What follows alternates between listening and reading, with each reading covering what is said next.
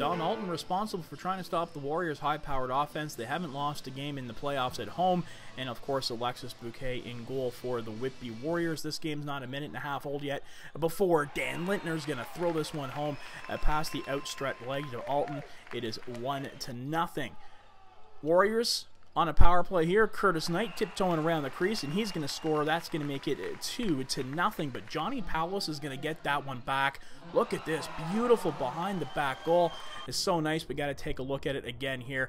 Chad Tutton had no chance and neither did Alexis Buque on that one. Warriors shorthanded. Knight gets a hat trick goal. Shorthanded, power play, and an even strength goal before this game is just 12 minutes old.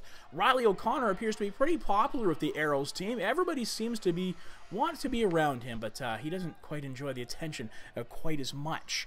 Shorthanded again here. This is Powless. Did he go between the legs to score this goal?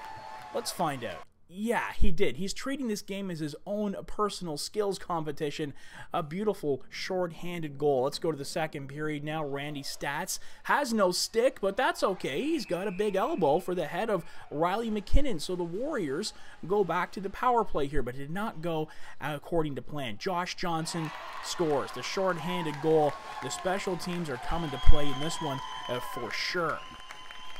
Nice passing up floor here by the brothers Hossack to Brody Tutton, and he will score. Whitby's got some momentum back in this one. Meanwhile, Chad Tutton, he is robbed of a goal here. This one goes in the net. He never did go in the crease. The officials have a very tough time of things in these games. It goes at such a fast speed. Can't fault them all the time, but this one clearly should have counted. Meanwhile, Austin Shanks gets that one back almost right away. Another shorthanded goal. There are more shorthanded goals scored in this game than power play goals. You don't often see that. Under two minutes to go in the second period, Knight gets his fourth goal of the game. That makes it 10 to 5 for the Warriors but that is where the party would end. The Arrows scored two quick goals in just over 35 seconds in the end of the second period to make it a three goal gap, and they would own the third period.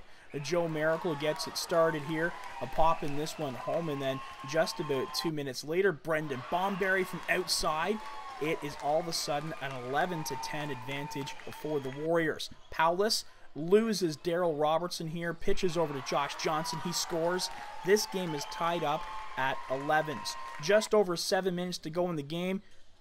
Jordan Dunston never should have had that much time and space. The Arrows' first lead of the game is the last goal scored in this one. They outscored Whitby 5 to 1 in the third period and now take a 2 to nothing series lead. I mean, just both ends of the floor, we got to step our game up. We got to uh, we got to run harder, work harder for those ground balls. I mean, yeah, all around we just gotta we just gotta pick our game up. That's all there is to it. It's been a lot of game of runs. We we get up. I think we're up five in the second, and uh, we just we just didn't have that killer instinct, and we just couldn't finish them off. And we allowed them to come back, and uh, a few bounces here and there, and they pulled it out a one goal win, which is uh, not what we wanted, but uh, we're still in this, and uh, we still believe. We the first game was in overtime. This game was by one, so we know we, we can win this still, and it's uh, just a bounce here or there, and uh, we're right back into it.